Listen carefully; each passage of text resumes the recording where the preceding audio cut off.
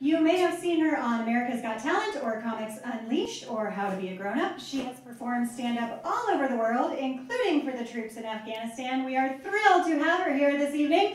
Please give it up for the one, the only, Jodi Miller.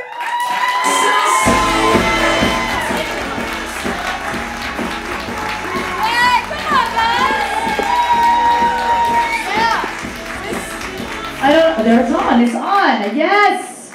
Aviva. I love just. I just love that name. It's like my favorite name. I just want to like yell it. Aviva. Doesn't it sound powerful? It does, right? I feel like I would just scream that everywhere. I love it. This is so great. Please keep it going for Kate and Jill and everybody involved in this. I'm so happy to be here. Uh, when I found out about this uh, this organization and, and what they do, and I went on the website and, and read about it, it was inspiring you know, taking you know, teenage girls at risk, you know, uh, teaching them stuff, getting them ready for. I just actually, it was so. I'm going to open a home for single women over 40. Cats are welcome, of course. I will be there. I feel like I need that, you know what I mean? Uh, and then if somebody wants to foster me, that's fine too. Even though I am looking for a forever home. I think. Uh, I feel like it could work, uh, especially the classes on compassion and empathy. I feel like I have a lot of friends that actually need that fucking class. You know what I mean? I was reading a lot about the website, uh, on the website too, about uh, Aviva. The name in 1927 was actually changed uh, from Hamburger Home. That was the name, right? It was called Hamburger Home, uh, named after uh, I guess the guy, the benefactor of it. I guess that's what it was called, Hamburger Home, but it was for single working Jewish female, okay? Which is me, exactly. Uh, I'm a hamburger, basically. Uh, not a cheeseburger, because that's not kosher, okay? I can't believe they went with Hamburger Home. I still, I was reading, I was like, what, really? Somebody was like, yeah, we should just go with Hamburger Home. Like, they couldn't come up with anything else more creative.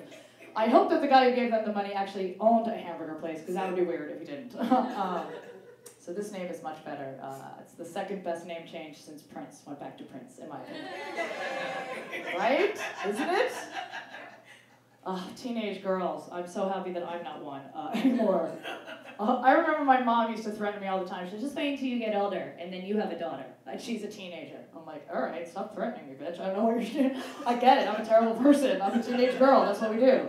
And then I realized that actually, I don't think women actually grow out of it. This is what I realized about women. Teenagers, adults, we just give angry compliments too, like all the time. I just noticed that with all of my, especially in Los Angeles.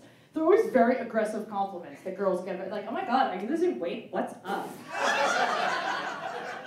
are you okay? What's happening with you? Is that a new shirt? When did you buy that? Oh.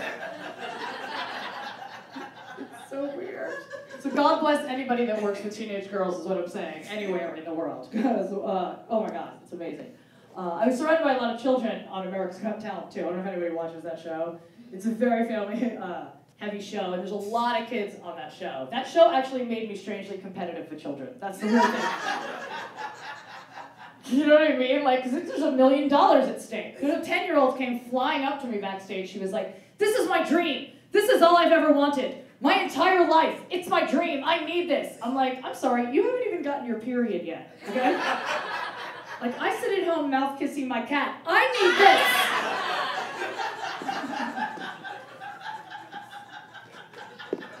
That show also is like when, when you're on a show like that too, it's a weird thing because they broadcast your real age, which is unacceptable in my opinion. Um, and I'm proud of my age, I am, but they led with it, with any kind of recap or interview. They're like, 42 year old comedian Jodi, come over here. Come over here, 42 year old comedian. Help her, she's 42. Help her over here. Let's go.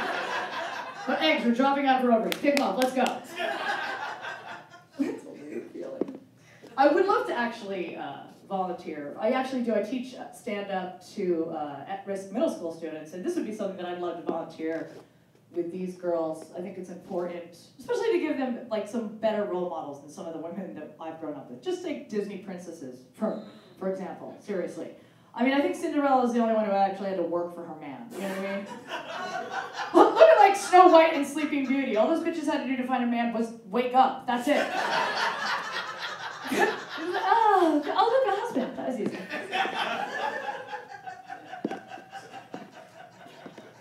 not fair. I mean, I have been single my whole life. I feel like I can help these girls too. Teach them it's okay when you grow up. get a career, find yourself. I've been doing it my whole life. But when you're in your 20s, you're actually, it's funny because people celebrate a single girl in their 20s. They call them smart. They're like, oh my god, look at you, you smart girl playing the field, not settling down. Good for you, you smarty smart pants. then when I was single in my 30s, I was just called strong. That's it. Everyone's like, oh, still single. Well, you're strong. Yeah. I mean, you're really hanging on. You're just white knuckling it, you know? You're solid like a rock. For you. And now that I'm single in my 40s, I'm just spiritual. That's it. Like, have you seen Jodi? She's super centered. She really, she really knows how to breathe. She's comfortable in her own skin, even though it's older. Good for her.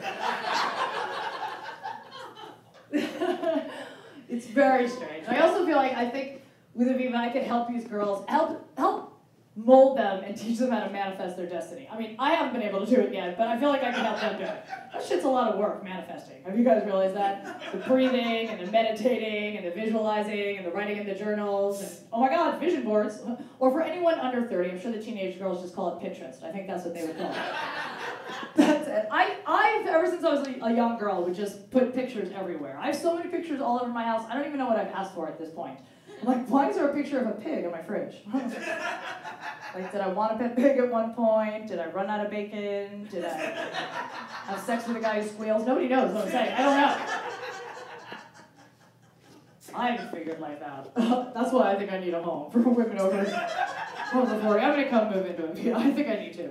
I have so many self-help books, I'm so scared that if I die, someone's gonna find my Kindle and be like, wow, this chick was screwed up, seriously. So I like every book, like The Secret, The Secret 2, The Secret the Secret, What the Hell's the Secret, How to Get What You Want and Want What You Have, and my favorite, How to Get What You Want by taking it from someone else, them knowing that you took it. That's a good one. I also like every dating book too, like all dating books. Like he's just not that into you, you're just not that into him. He's physically inside of you and still not that into you. I don't like those books. I would get better advice. I feel like I would to teenage girls. I would. Oh God, I want to just. I feel like more things should be geared towards women, especially like movies too. I always look at the movies that are coming out, the Transformers and the GI Joes, Avengers. Everything is like geared towards like things that boys played with. Boys, boys, boys, boys. I want to see movies that represent the like the toys that us girls played with. Like I want to see next summer from Fox and Hasbro comes a story about a girl and her oven. How about that? I want to see Transformers 4 Rise of the Easy Bake Oven. Yeah, right? Cook the shit out of them with that 3 watt light bulb. That's what we do. A 3 watt light bulb. That's what they put in those ovens. Do you guys remember having them? You could like light a caterpillar on fire with a magnifying glass faster than you can cook one of those dumb cakes. Remember you put it in there, the batter, seven hours later the shit would not be done? And you're like, look, I got no, don't put your hand in the oven! And finally just take the uncooked batter and was like, I'm drinking it, I don't care. I'm just drinking it. It's a milkshake. It's what it is. You know, it's funny when I told all my friends that I was uh, that I that I was you know doing this amazing benefit. Um, they're like teenage girls. Uh, I would see teenage boys because I'm a cougar, so that's creepy. I'm actually Jewish, so I'm a Juger, really, actually. means I like to hook up with young guys, but I have a lot of guilt about that, okay? I mean, not enough to stop, obviously. I just believe in our country's motto, no child left behind. That's my motto. Thank you. It's so weird, too. I don't even know what the age of a cougar... So many people use that term, they just throw it around. I was at a Starbucks, I heard these two girls talking. These two young girls, were like, oh my god, I went with this guy last night, he's 23, and I'm 26. I'm a total cougar. like, I'm sorry, if you're a cougar, then what the hell am I? A saber-toothed tiger? it's so weird. Something else I would, I think I would help with these girls is, I, social media is just ridiculous to me. It gets out of hand, especially naked pics. I can't even, it's ridiculous.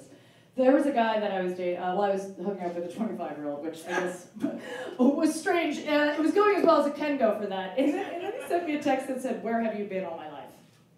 That's what the 25 year old asked me. Where have you been all my life? I'm like, Well, let's see. when you were born, I was a senior in high school. And then guess what? He sent me a picture of a naked junk shot. That's what guys, that's what they do, these kids today, guys and girls. It's ridiculous because I didn't grow up in that time. I wanted to come to an end. Mainly because it scares the crap out of us, okay? Because we never know when that's coming. And to me, it's almost like guys are just shocked in the morning when they wake up and it's still there, so they have to document it and send it to every girl they know. Like, oh my god, there it is again! Snap, happy Tuesday, ladies. I think it's so weird. It makes me think, like, what did guys do before camera phones? You know what I mean? Like, I imagine some guy in the 80s and 90s just staring at himself like, yeah! she could see it now. She'd be right over, obviously. Quick, get the Polaroid and a stamp. Which should actually be a great letter. like, if anybody ever wants to do that, I would just say go old school. But do it with a Polaroid and only like half develop it when you mail it. So girls are like, oh yeah, what is this? I don't know. oh my god. Oh, well, that's going on my vision board. That's where that is. well, more importantly, I would tell girls to never send one. I, I can't even, to me, it's ridiculous. I would never do that. I mean, I'd say that, although I have. So I would never do it again. it's so, it's bizarre to me. Like, I, I mean, like hair and makeup and a lighting crew and a wind fan. You know what I mean? like the one time that I did it for this 25 year old, I had to set the timer up on my iPad for a five second delay. And which is worse, because now you're standing there naked for five seconds trying to figure out what you think is sexy. You're like, five, four, three, two, there it is. That's it. It's just not sexy. And I try like every pose and I'm deleting and filtering. I finally send it. He shoots back. He's like, hot, send another. I'm like, I don't have another day to waste. it took 12 hours. Oh my God. I, uh, I love doing benefits. I do a lot of them. Um, it's a great, it's always great to give back to anybody that, you know, that needs it. And I actually have been trying to get pregnant. Um, last year I did a whole, I did like the entire year, five rounds of IUI. And it's amazing, but I did it the right way though, don't get me wrong. I, uh, before each insemination, I went out and I got drunk. I mean like super wasted, because I, I wanted it to be natural, obviously. So. uh, yeah, fingers crossed, I'll baby tonight. Um, my daughter's Italian and Irish, which basically means my baby will be loud and drunk, and I'm okay with that actually. Um, but honestly, the doctor was very funny. I actually did a benefit uh, for them, uh, their Christmas benefit for women that were trying to get pregnant as well, because it's a lot of money. But the doctor, because he knew I was a comedian, so he liked to mess with me. Before the first insemination, I kid you not, I am in the stirrups, sitting in there, and he walks in the room and goes, Okay, I've got the horse sperm. Get the horse. I'm just kidding. We're not using horse sperm. And I go, uh, I'm sorry, are you kidding? If I gave birth to a centaur, do you know how famous I would be? I'd get my own show for sure. Can you make that shit happen? I mean, assuming I survive the childbirth, because that actually sounds painful. But then think about it, I'd have like a half little boy, half horse that I could ride to the comedy clubs in LA traffic. and I take mama to work, underlay. Think about those bragging rights. Be like, oh, your son is on the honor honor roll. My son just won the Kentucky Derby. Still a hope of mine, but I don't. I don't have I don't have a baby, but I do have a cat. Um, it's, uh, I know, it's, it's obvious that I have a cat. I don't even need to say it. It was actually my fear when I turned 40 and I was still single that I would open the door and just a pack of cats would come running in. Like, give up, we're here. It's okay. It's all right, Jodi, you can give up now. I actually, it's like my version of The Bachelorette. 25 cats just come fucking running in. Yeah. you know, it's funny because every, you know, guys, it's you typically that don't like you guys don't like cats typically. And I don't understand why you don't like cats because you're exactly like a cat. Okay, girls are like dogs. Okay, we've been conditioned to think that men are like dogs and women are like cats. But this could be further from the truth. Guys are like cats, you're aloof and emotionally unavailable. Women are exactly like dogs. We're exactly like dogs. We're like, hey, where you going? Where you going? Where you going? Where you going? Where you going? Where you going? Where you going? Can I go? Can I go? Can I go? Can I go? I'm gonna wait right here. I'm gonna wait right here. I'm gonna wait right here. I'm gonna wait right here. I'm gonna wait right here. I'm gonna wait right here. Shoes.